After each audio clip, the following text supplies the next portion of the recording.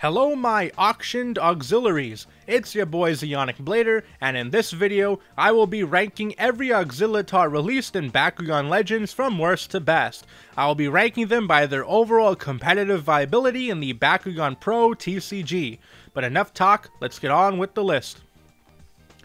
Number 2, Aurelus Auxillataur. This Bakugan has a nice core lineup of Fire Fist and Shield. Fire Fist is a great core to have due to them having the highest boosts in damage. Aurelus Auxillataur has a stat line of 900 B power and 1 damage, which are unfortunately stats that are too low to really do anything. And at number 1, we have Darkus Auxillataur. This Bakugan has a nice core lineup of Magic Shield and Shield. Magic Shield is a great core lineup to have due to them giving the highest boosts in B power. Darkus Auxillataur has a stat line of 900 B power and 3 damage.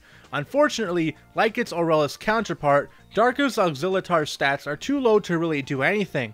Luckily, it does come with a magic shield, so at least when it's on the plus 650 magic shield, it can reach 1550 B power, which is still too low in the Legends format by at least 100 B power, but still, at least it can reach the number on its own.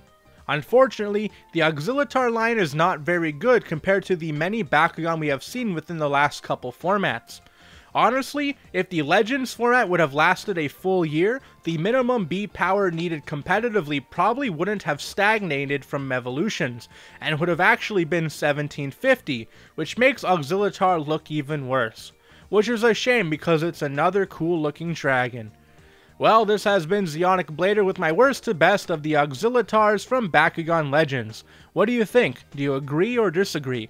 Let me know in the comment section below, and if you like the video, hit the like button. Or don't, I'm not the boss of you, but be sure to subscribe and hit the notification bell so you get updated whenever I upload.